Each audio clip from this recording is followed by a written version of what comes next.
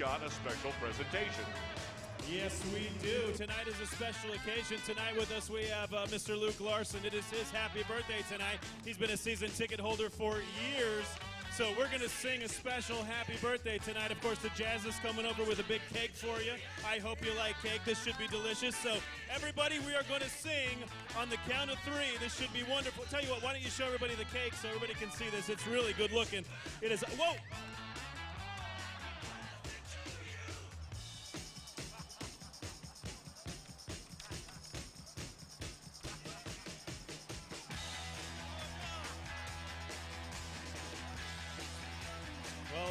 birthday.